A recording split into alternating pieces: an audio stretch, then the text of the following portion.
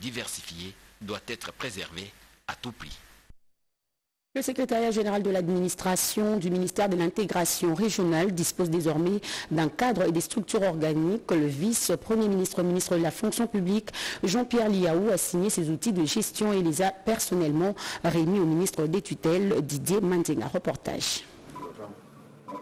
Au regard de sa position géostratégique, la République démocratique du Congo est appelée à disposer d'un outil moderne de gestion devant lui permettre la mise en œuvre d'une politique étrangère. C'est dans cette optique que réunis en commission mixte, les ministères de la fonction publique et de l'intégration régionale ont élaboré le cadre et structure organique pour servir de boussole dans la transformation du mode de gestion des ressources humaines devant satisfaire aux impératifs de la maîtrise des effectifs et de la masse salariale. Et le lundi 26 août 2024, le vice-premier ministre, ministre en charge de la fonction publique, Jean-Pierre Liaou, a procédé à la signature des cadres et structures organiques du secrétariat général de l'administration du ministère de l'intégration régionale en présence du ministre des tutelles Didier Manzinga.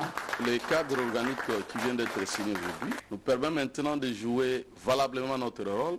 Nous avions besoin d'accompagner le président de la République dans ce cadre de paix et sécurité, sensibiliser la population à dénoncer les mal, de se prendre en charge, mais nous n'avions pas l'instrument eh, que nous pouvions utiliser. Aujourd'hui, nous avions maintenant ce cadre organique qui nous permet de mettre en place l'administration au niveau de la province de Nord Kivu.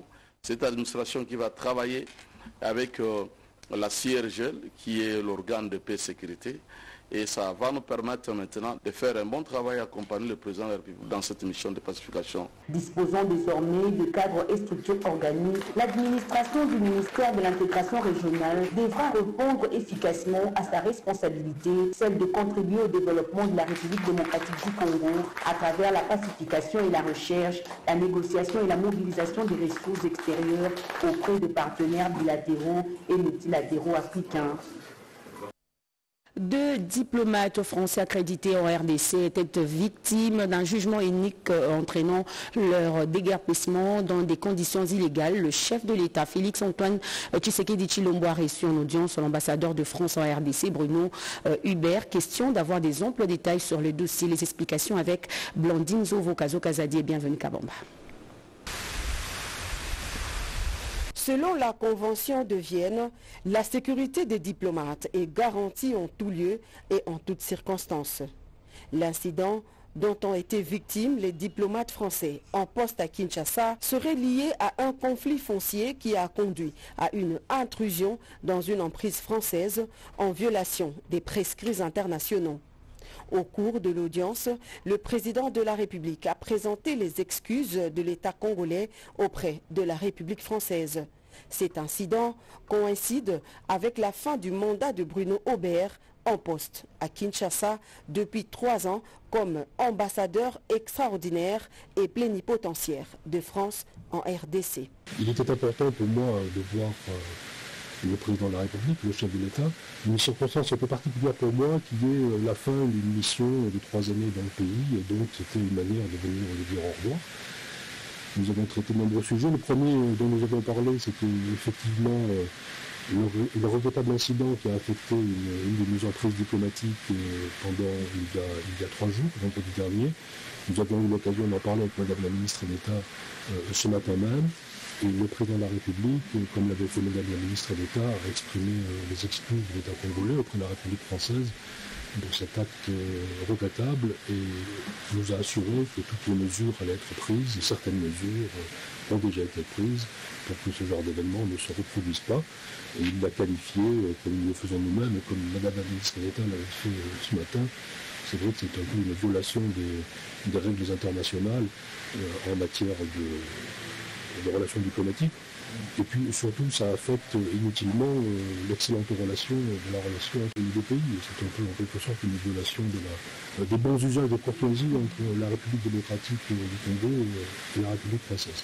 De son côté, le ministre des Affaires étrangères, qui dans un communiqué a exprimé ses profonds regrets suite à cet incident malheureux, a souligné son engagement pour le respect des conventions diplomatiques. Mais ces incidents n'entachent en rien les relations bilatérales toujours au beau fixe entre les deux pays. Je pense en effet que c'était la préoccupation de toutes les parties impliquées dans cet incident, justement que les relations excellentes entre la République démocratique du Congo et la République française ne soient pas entachées par cet euh, incident malheureux. Je pense que la République démocratique du Congo, à travers ses institutions et sa réaction rapide à cet incident, a démontré qu'elle tenait à ces excellentes relations, mais aussi que l'ambassadeur de la France, qui a été disposé à échanger avec nous dans des très, très brefs délais, a, a pu réaffirmer que c'était un souci mutuel et un souci partagé. Donc actuellement, les enquêtes sont en cours justement pour avoir une meilleure compréhension de cet incident euh, de ses antécédents aussi, et pour permettre à la République démocratique du, Congo de tirer toutes les conséquences nécessaires pour que ce genre d'incident ne se répète pas. L'événement a eu lieu vendredi 26 août dernier. Les agents de l'ordre ayant participé à cette tentative de déguerpissement ont été interpellés. Les experts de 16 pays membres de la SADEC prennent part à la réunion du comité euh, statistique de la SADEC qui se tient à Kinshasa au Congo euh, Fleuve Hôtel. C'est le secrétaire général au plan qui a ouvert ses assises en présence du secrétaire euh, exécutif adjoint de la SADEC, l'œil de la rédaction de Jean Thibault. Cet atelier organisé par la communauté de développement de l'Afrique australe SADEC euh, vise le renforcement des capacités des experts de la SADEC pour la production des données statistiques fiables du travail et de l'emploi. Il constitue le plan de données, voire le cadre standard de la SADEC en vue de l'intégrer dans le cadre prioritaire visant le développement de la sous-région de la SADEC. Les experts de 16 pays membres de la SADEC, dont la RDC, prennent une part active à ces assises au fleuve Congo Hôtel à Kinshasa, dans la commune de la Gombe. Sans statistiques dans notre pays, c'est difficile pour avancer.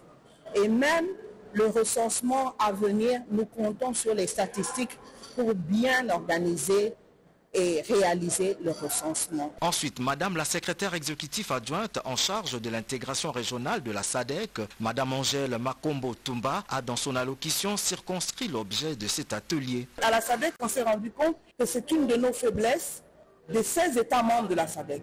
Mais nous, en RDC, nous sommes résolus à avancer. Enfin, la présence de l'autorité politique qui traduit l'engagement de la RDC à mettre au bénéfice du cadre régional les statistiques fiables, euh, bons du travail et de l'emploi. Le secrétaire général au plan a lu la locution du vice-premier ministre, ministre au plan, avant de déclarer ouvert ces assises de 5 jours qui débutent ce lundi 26 et s'étendront jusqu'au 31 août 2024, placées sous le thème les statistiques de la SADEC, du travail et l'emploi.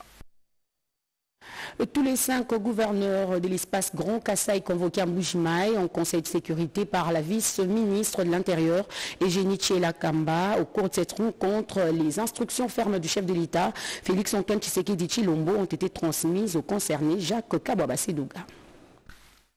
C'est un moment décisif pour la vice-ministre de l'Intérieur, Sécurité et Décentralisation, Eugénie Lakamba, de transmettre les instructions fermes du chef de l'État et commandant suprême des forces armées de la police nationale congolaise, Félix Antoine Tshisekedi Chulombo, aux cinq gouverneurs de l'espace Grand Kassai, convoqués tous en urgence en Bouchmaï pour une réunion des conseils de sécurité aux côtés d'autres services locaux. Près d'une heure, le numéro 2 de la territoriale du pays a, dans sa communication, convié les chefs des exécutifs provinciaux du Kassai, Kassai central, Kassai oriental, Lomami et Sankourou à redoubler plus de vigilance pendant cette période où le pays est agressé par les Rwandais et ses complices. La lutte contre la vie chère menée par les gouvernements soumis notamment dans le contrôle rigoureux des prix sur les différents marchés s'impose pour les saluts de la population. C'est tout à fait normal, comme euh, vice-ministre en charge de l'administration, et devait quand même écouter les gouverneurs de province pour l'état sécuritaire dans toutes les cinq provinces qui constituent l'espace Grand Kassai. Les cinq gouverneurs se sont retrouvés et chacun d'eux a pu brosser succinctement ce qu'est la sécurité dans sa province. Il nous a écoutés et il va agir par rapport à toutes les doléances, les plaintes de chaque gouverneur. Très satisfait du speech et des orientations reçues de la vice-ministre de l'Intérieur, Eugénie Lakamba, les cinq gouverneurs de l'espace Grand Kassai ont pris l'engagement de s'investir dans la vision du chef de l'État, Félix Antoine Tshisekedi Chulombo, pour la paix et le développement de leur milliers, ainsi que pour un Congo fort, debout prospère. Autre actualité, des jeunes Koulouna en passe de réinsertion par la génération 24 de l'honorable Jean-Marie Loukoulassi. 150 d'entre eux ont répondu à l'appel de pied de G24 pour s'adonner à l'assainissement de la ville. Ça se passe à Kaouka, siège du G24. C'est un reportage de Sandra Nyangitabo. Des regards scélérats qui sont en voie d'être apprivoisés. Leur mea culpa, suivi du pardon au peuple congolais et au président de la République Félix Antoine Tshisekedi Chilombo, témoignent de leur volonté de changer positivement et d'abandonner le Kuluna. L'œuvre des médiateurs auprès des différents gangs a produit des fruits. Au total, 150 nouveaux jeunes Kuluna en face de l'honorable Jean-Marie Lukulasi Massamba pour recevoir le message qu'ils attendent visiblement depuis toujours. Un emploi, une prise en charge santé universelle contre une reconversion citoyenne. Tout de suite, ils sont lancés sur le terrain dans la lutte contre l'insalubrité en général avec un focus sur le curage des rivières dont les lits sont remplis de détritus et d'autres déchets, une manière d'anticiper les inondations. Cet engagement des G24 peut reposer sur Kinshasa et Zobonga, programme du gouvernement provincial de Kinshasa. Déjà ce lundi, ces jeunes ont reçu les cartes de couverture santé universelle de l'Issungi, partenaire privilégié des G24 pour une bonne prise en charge médicale pour eux et leurs familles. Au jour le jour, l'équipe des médiateurs des G24 ratisse et continue à conscientiser les Koulouna de Kaouka. Kaouka égale zéro Kuluna pour qu'ils abandonnent ces pratiques antisociales. Selon la vision de Jean-Marie Lukulassi, l'assaut sera lancé sur d'autres communes de la Funa l'un de ce 4 matin. Et pour s'assurer de la bonne rentrée scolaire à l'école EP4 Kaouka, qu'il a fréquenté dès son tendre enfance, l'honorable Jean-Marie Lukulassi Massamba s'y est rendu. L'école manque de tout les bancs et autres. Il a besoin d'être rafraîchi et l'élu de la FUNA a entendu leurs cris d'alarme et a accepté de soutenir cette école primaire avant la rentrée scolaire. Ce communiqué de service des forces armées de la République démocratique du Congo qui porte à la connaissance de l'opinion que le M24 RDF ont tenté de couvrir à travers les différentes communications de ce dimanche 25 août 2024 leurs multiples violations du cessez-les-feux en cours. Dans leur communiqué officiel signé ce 25 août, ils parlent d'un aéronef des forces armées de la République démocratique du Congo qui aurait survolé les zones des Lubero et Rutshuru. En effet, il s'agit d'une tentative d'aveugler l'opinion car c'est depuis 48 heures qu'à cause des problèmes de météo qu'aucun aéronef des FARDC ou des partenaires n'a pu prendre les airs au nord Kivu. Dans ce même cadre, pour justifier les attaques qu'ils ont lancées ce dimanche, sur nos positions des Kikubo dans le territoire de Lubero. Ces derniers ont signé en date du 24 août et mis sur la place publique un communiqué évoquant un déploiement des troupes des FRDC aux alentours des zones sous leur contrôle. Il s'agit, s'est agi plutôt là encore d'une manipulation de l'opinion. On regarde ce qui précède les forces armées de la République démocratique du Congo rappellent qu'elles considèrent ce comportement belliciste comme une énième violation du cessez-le-feu voulu par le processus de Luanda. Pour ce faire, elle compte saisir le mécanisme conjoint de vérification élargi et le mécanisme ad hoc de vérification afin de mettre en lumière ces actes et d'en tirer toutes les conséquences irrélatives. Faites à Kinshasa, à Goma plutôt, le 26 août 2024, J.K. Kaiko Guillaume, lieutenant-colonel, porte-parole de FRDC Nord Kivu. Poursuivons ce journal au chapitre de la justice. Les réformes du secteur entamées il y a quelques années ont été saluées par le professeur Taylor Lubanga, point focal de la RDC à la CPI et chargé de mission du chef de l'État pour une justice distributive. Il encourage les institutions à poursuivre avec les réglages de l'appareil judiciaire. Eric Kabamba, reportage.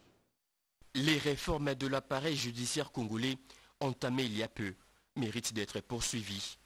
En tout cas, C'est le souhait du professeur Taylor Lubanga, chargé des missions du chef de l'État et point focal de la RDC à la Cour pénale internationale.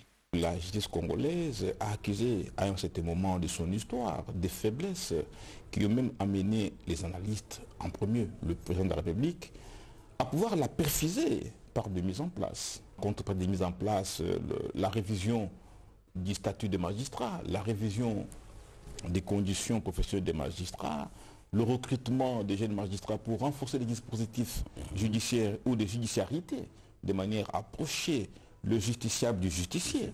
Tous ces efforts concourent justement ou participent de cette amélioration d'un appareil judiciaire que nous voulons, euh, capacitant au niveau des problèmes qui sont les nôtres. Mais les bonnes réformes, le juge doit apprendre, doit considérer que l'indépendance n'est pas un cadeau. Il doit arracher son indépendance vis-à-vis de l'influence politique, vis-à-vis effectivement des trafiquants d'influence. Taylor Lubanga est revenu sur le bien fondé de la suppression du moratoire sur la peine de mort. Il faut d'abord préciser que le moratoire ne veut pas dire que la peine de mort ne peut, ne peut plus être prononcée. C'est seulement ne doit pas encore être exécutée. L'on peut donc comprendre que les finalités politiques de ce moratoire ont été discutables en raison de la persistance et même de, de l'attrait à la criminalité la plus grave. Taylor Lubanga s'insurge également contre ce qu'il qualifie des tribunaux des réseaux qui condamnent leurs bourreaux sans l'avoir entendu. La révalorisation de notre gouvernance ne peut que passer par la justice et une bonne justice distribuée dans les conditions socialement acceptables. Mais si le suspect, par une rumeur, une information, n'a pas été invité à se défendre, nous sommes là en train, par moment, de le principe de la présomption d'innocence. La justice élève une nation, disent les Saintes Écritures. Cette assertion devra donc guider tous ceux-là qui sont censés dire les droits. Interdiction d'importation et la commercialisation de huit marques des farines impropres à la consommation en RDC en provenance de la Zambie. Les experts de plusieurs ministères et l'OCC l'ont certifié au cours d'une grande réunion autour du secrétaire général au commerce extérieur. Une fois de plus, Eric Kabamba. La RDC vient de fermer complètement ses frontières à plusieurs marques de farine de maïs en provenance de la Zambie. Ces farines de maïs sont contaminées par des toxines produites par des moisissures dites aflatoxines. Africa MyLink, Roller Mill and Breakfast figurent parmi ces marques sous embargo. Décision prise au cours de cette réunion qui a réuni autour du secrétaire général au commerce extérieur les experts de ministères concernés et les services aux frontières. Pour faire respecter cette mesure, l'Office congolais des contrôles va procéder au prélèvement des échantillons de farine de maïs au niveau du marché et en trépeau dans l'espace Grand Katanga pour se rassurer davantage. Tous les services concernés ont été instruits, chacun à ce qui les concerne, pour que de manière pratique, tout soit mis en œuvre pour que ce produit ne soit pas consommé, que le produit n'entre pas sur le territoire congolais et que ce produit ne circule pas évidemment sur notre territoire. Nous avons euh, profité de cette occasion également pour demander à tous les services de mener des enquêtes des enquêtes quant au stock dont disposent les principaux distributeurs, le plus précisément dans la partie sud de notre pays. Des nouvelles stratégies formulées au cours de cette réunion pour renforcer le contrôle au niveau des frontières afin de mettre fin au phénomène Bilanga et ailleurs seront soumises au gouvernement congolais dans les heures qui suivent de dénonciation sur la gestion des projets, le cadre organisationnel et la gouvernance du projet. Des réponses ont été données le week-end dernier à la clôture de la mission de capacitation des douaniers congolais par la mission de l'Organisation mondiale des douanes, bureau régional Afrique occidentale et centrale à Kinshasa. Durant cinq jours, le Bureau régional des renforcements des capacités de l'Organisation mondiale des douanes OMD pour l'Afrique occidentale et centrale, par son directeur régional et l'expert conseiller, ont assuré avec brio et compétence la formation des cadres et agents de la douane congolaise. C'était sur la gestion des projets. Les échanges ont été interactifs. Ils nous ont permis de parcourir le cadre organisationnel de la gestion des projets, les principaux piliers de la gestion des projets, l'aliment stratégique, la méthodologie de gestion des projets, la gouvernance et la gestion des compétences. À la clôture de cette session, le directeur général adjoint de la DGD en charge des questions administratives et techniques, Jean-Louis Baouna Mabolia, a félicité les formateurs pour la qualité des enseignements et les participants pour leur assiduité avant de noter l'importance de la session clôturée. Cet atelier sur la gestion des projets tombe à point nommé au moment où nous sommes en plein processus de la modernisation de l'administration douanière de la RDC. Je suis rassuré que les connaissances acquises en la matière permettront de relever cette dernière à un niveau répondant aux structures douanières internationales. Je termine mon propos en remerciant une fois de plus le Bureau régional de renforcement des capacités pour la manifestation de volonté de travailler avec notre administration douanière avant et après la mission et d'assurer le coaching avec une administration membre de la région qualifiée en la matière. La nette reconnaissance est également marquée par les bénéficiaires qui ont remis un présent aux formateurs à travers le président de la délégation syndicale Itegua pour leur beau souvenir de ce passage à Kinshasa, RDC.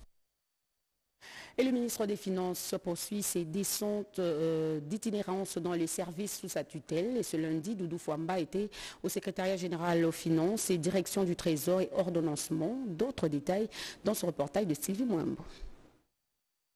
Doudou Fouamba Likunde Libotaï, le retour d'un fils maison dans l'administration des finances où il a fait carrière agent de bureau, attaché de l'administration de première classe, chef de bureau, chef de division, directeur, directeur général et aujourd'hui ministre des Finances. De bonnes raisons pour être reconnaissant. C'est une faveur et une grâce inestimable que le chef de l'État a voulu donner au ministère des Finances et pour cela nous devons applaudir au chef de l'État. Alors, nous devons pour cela faire honneur au chef de l'État. Et le premier qui doit faire honneur, c'est moi. Mais comment Doudou Fouamba compte-t-il rendre l'ascenseur au président de la République? Je suis un homme de la lutte contre la corruption, les antivalères. Et nous allons continuer sur cette lancée-là. Nous devons faire en sorte que les gens n'aient pas honte d'avoir un ministre. Je dois vous rendre fier. Par ma conduite, par mon engagement, le chef de l'État nous a mis ici au ministère des Finances pour qu'il y ait une justice distributive en termes de revenus et de ressources de l'État. Et nous allons faire cela. Nous ne voulons pas des injustices sociales. Des gens doivent travailler et être rétribués sur base de la méritocratie. Le ministre des Finances encourage les agents et cadres de l'administration des finances au travail, à construire une administration capable de délivrer, d'être un service normatif, de contribuer à l'essor de la République démocratique du Congo. Il va encourager leur formation pour qu'ils soient polyvalents pour augurer des lendemains qui chantent. Lancement de la campagne de vulgarisation du cadre légal et réglementaire portant lutte contre le blanchiment des capitaux et le financement euh, du terrorisme et de la prolifération des armes légères. La cible de la campagne, les messageries financières. Le point avec Dada Chabagne.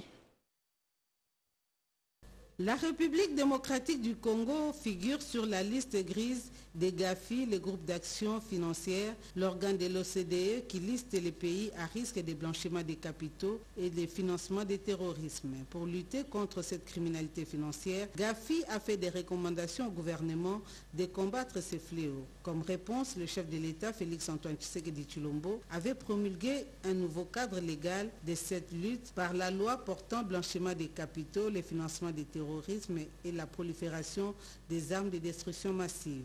Le blanchiment des capitaux a une incidence négative sur les institutions financières. Voilà pourquoi la Banque centrale du Congo, en sa qualité d'autorité de régulation des activités des institutions financières, a lancé la campagne de vulgarisation de ces cadres légaux et réglementaires. Commencé au mois de mai avec les cambistes et les bureaux d'échange, la BCC poursuit sa campagne en ciblant cette fois-ci les messageries financières. La campagne était lancée ce lundi 24 août 2024 par le représentant de Madame le gouverneur Malango Kabedimboui et directeur Kaloubi.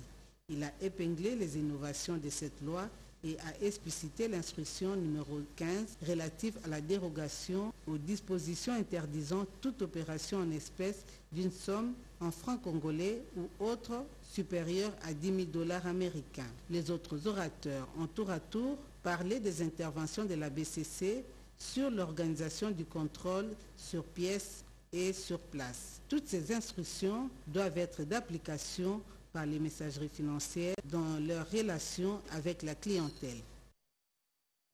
L'agenda du chef de l'État était très chargé aujourd'hui. Félix Antoine Tshisekedi Chilombo a également euh, échangé avec une délégation de l'International socialiste, une plateforme mondiale qui regroupe les partis politiques d'obédience euh, socialiste. La délégation a été conduite par Augustin euh, Kabouya, vice-président de cette plateforme. Reportage.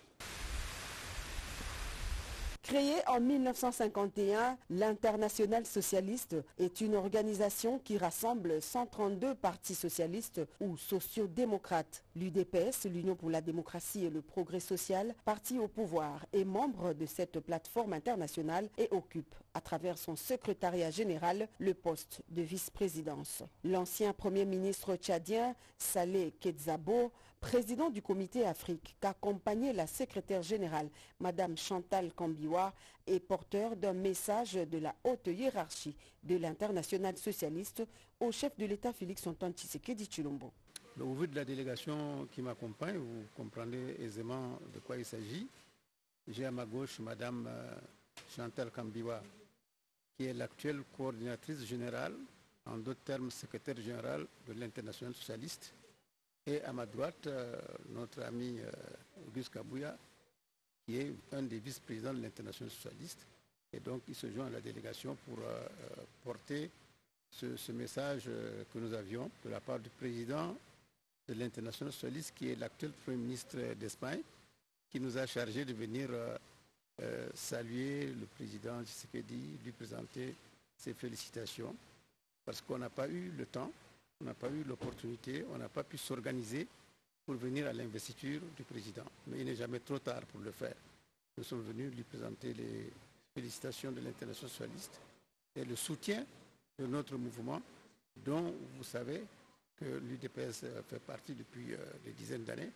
C'est un des partis membres influents de l'international socialiste.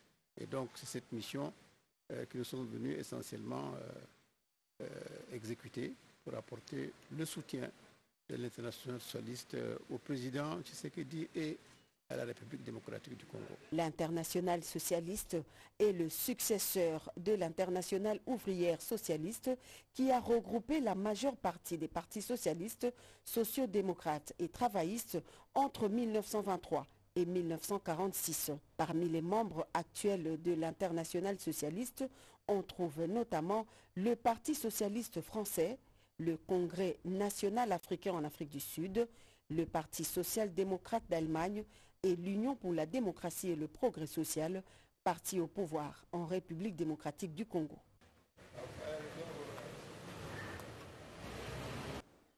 En sa qualité du vice-président de l'international socialiste, Augustin Kabouya et les membres de l'UDPS ont eu une discussion avec la délégation de cette plateforme. Suivez à Kinshasa pour une mission de consultation dans le cadre de l'international socialiste. La délégation conduite par Saleh Gebzado, ancien premier ministre tchadien, a été reçue au siège du parti présidentiel par le secrétaire général adjoint Godefroy Chimanga. Après un tête-à-tête avec le secrétaire général faisant office du président intérimaire et vice-président de cette organisation Zone Afrique, le président du comité international socialiste Afrique et la Camerounaise Chantal Kambiwa ont eu aussi à échanger avec l'exécutif national de l'UDPS. Chantal Kambiwa a été impressionnée par la représentativité de la femme et des personnes vivant avec handicap au sein de ces structures avant de saluer l'apport du secrétaire général de l'IDPS dans l'équipe restreinte de travail du président de l'international socialiste, Pedro Sanchez. Notre secrétaire général, il est vice-président de l'international socialiste pour le monde entier.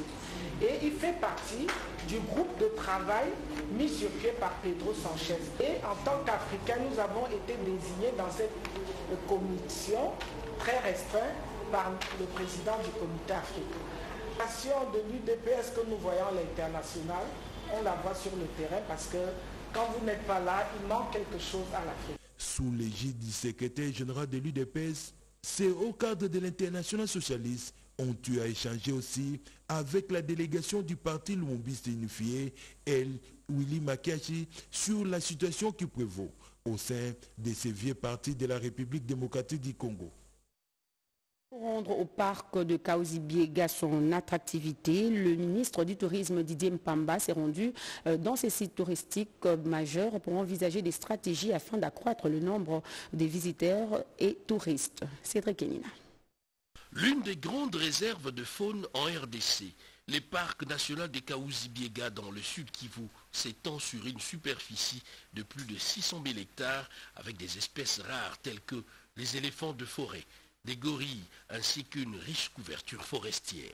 Les ministres du Tourisme Didier Pombia Moussanga, qui est arrivé sur place 30 ans après qu'un ministre soit passé par là, nous renseigne-t-on à explorer les possibilités de rendre beaucoup plus attractifs ces parcs.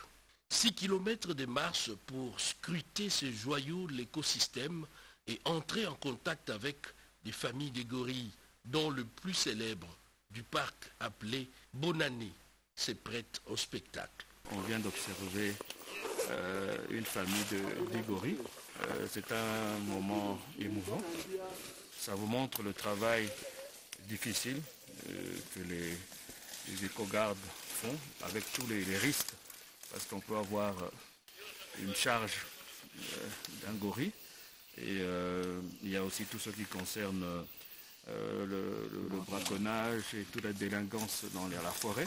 Nous devons considérer que le travail qu'ils font mérite d'être mieux, euh, rémunéré. Et c'est le combat que nous allons euh, mener. Une visite qui témoigne de la volonté du numéro un du tourisme de mener à bon port la politique sur la relance du tourisme, vision du chef de l'État Félix-Antoine Tshisekedi dans la création d'une industrie touristique dynamique, génératrice des revenus et vitrine d'un pays en pleine mutation. Le CID est une plateforme des jeunes qui vulgarise les bourses d'études pour différentes formations dans plusieurs pays et permet la facilitation. Son promoteur, le docteur Michel Mouvoudi, a organisé une conférence à Kinshasa pour présenter différentes opportunités et encourager les jeunes à le faire. Séverine Katanda était de la partie.